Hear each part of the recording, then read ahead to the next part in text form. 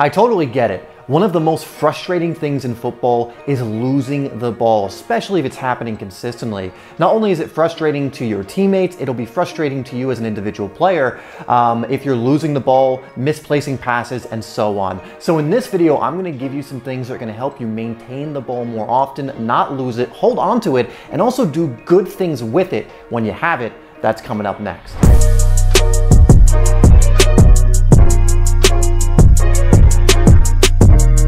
Hi there, my name is Dave, and this is Simply Soccer if you're new to this channel where we are releasing videos every single week to help you improve your game and stand out on the pitch. Now, if you haven't gotten my free ebook Game Changer yet, I would really recommend you get that. It'll be linked down below. It's absolutely free, 50 plus pages, uh, just going over so many different things that's going to help take your game to that next level if you apply it. So get that down below. Now, without further ado, let's get into the first thing you can do to stop losing the ball so much, retain it, and do good things with it.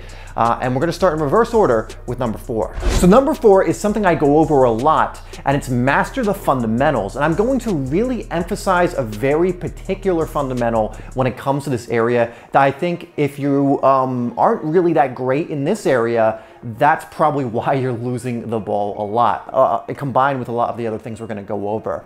Um, but master the fundamentals and especially pay attention to your first touch because nothing will make you more nervous, nothing will cause you to lose the ball more than having a poor first touch. But when you take a good first touch, you will have the advantage when it comes to maintaining the ball, whether it's to protect it, whether it's to even beat an opponent with your first touch, uh, you know, which direction you're gonna take it. When you have a really good first touch and you have the ability to do many different types of good first touches in different directions in different ways, it's going to go a long way to you not losing the ball. Typically, when I see a player who's losing the ball quite consistently, I see that they lack in this area. They're not taking good first touches or their first touches are just, they're not using the right one for the given situation. A lot of it comes down to that fundamental. Now, of course, you wanna master your other fundamentals as well, but when it comes to maintaining the ball, Obviously, your passing will obviously factor in here as well, but first touch is so crucial get to a wall, practice your first touch in many different situations with different body parts, inside, outside of the foot, top of the foot, even sole of the foot. The better you are with your first touch, the more you've mastered this, the less you're going to lose the ball. In fact, in the comments, if it resonates, put I am mastering my first touch in football. You can put I am mastering the fundamentals as well if you want, but especially I am mastering my first touch and then get out there and work on your first touch. It's so easy to work on this area. Just need a ball and a wall or a ball and a mate to play the ball into you and there's so many different drills you can do. Now let's move on to number three. And number three is massive and this is another one that's such a fundamental that's overlooked, um, but it, it's, it's something all players need. And when you don't know how to do this, you're gonna get tackled, you're gonna get shrugged off the ball, you're gonna lose the ball, and it's learn how to protect it. Um, learn how to actually get your body in between the man and the ball. Learn how to use your bum to protect the ball. Some of you may have seen that article that came out uh, not long ago with Yaya Toure talking about bums in football. Um, and he talked about players like Eden Hazard, uh, especially in his prime, how he would do this quite a lot. He would use his bum to protect the ball. He would use it um, to protect himself and the ball. And learning just how to use your body to protect the ball is so crucial because then if you take a good first touch and someone tries to come in and take the ball, you can protect it. And one of two things is going to happen. They're not going to get it um, if you've done a good job or they're going to foul you. So learn how to protect the ball. It is so crucial. This is a physical sport. Yes, sometimes someone's going to run into you. They're going to clatter into you. That's a part of the game. You can't be scared of that. You have to learn how to use your body because again, you need to protect the ball. There's nothing worse than losing it, especially in dangerous positions. So learn to protect it, learn to draw the foul if necessary, or learn to even protect it to the point where the opponent knows they're not going to get it and they'll jockey you instead of going in for the tackle. But you need to learn how to use your bum, as Yaya Toure says, but also other ways in which you can protect the ball. It's so crucial. So if this video is resonating with you and helping you so far, make sure you hit that like button and we'll move on to number two. Now, number two is don't panic.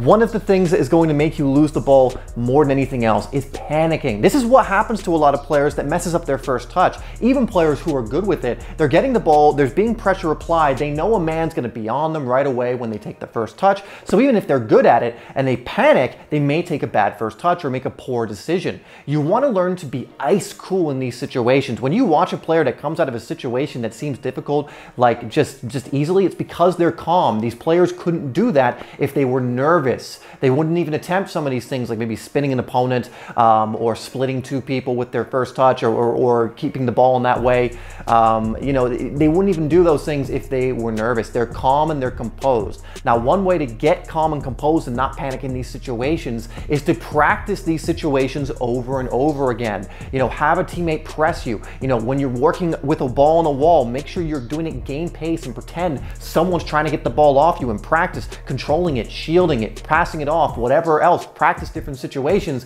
because if you do that, then when the game comes along and that situation arises, then you'll know what to do. You've done it hundreds, hopefully even thousands of times, and your body will be able to just react to that situation without getting nervous. But if you panic, it is what's going to lead to mistakes. And number one is just make sure you're not overcomplicating the game. Again, even with good players, a lot of times you'll see if they're losing the ball a lot, maybe they're over dribbling, um, or maybe they're just doing silly things. They're not playing simple. So just make sure you're not overcomplicating what is a very simple game. Now, again, there are times when you're going to go on a run and weave through three players. There are times when you're going to try like that risky through ball that there's a chance it will get intercepted, or you're going to try that kind of audacious first touch over the opponent or around the opponent or whatever else it is. But sometimes you'll see players who try and do this every single time. Like they'll take the risk the majority of the time. And this is just not a smart way to play football. It will cause you to lose the ball quite a lot. You become quite predictable. Opponents will start realizing he's just going to try and beat me with his first touch.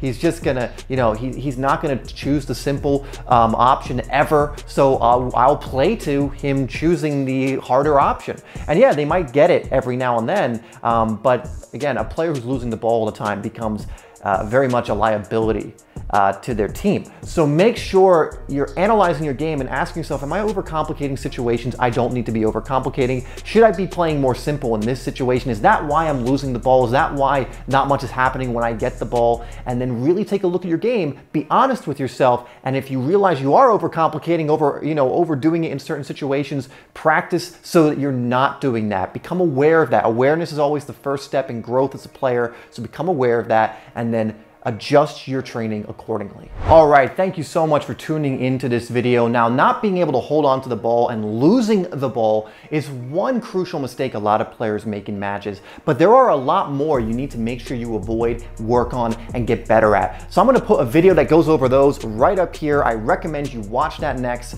so you're avoiding these match mistakes so that you can actually start standing out and have good performances. I'll see you over there. Thanks for tuning into this one.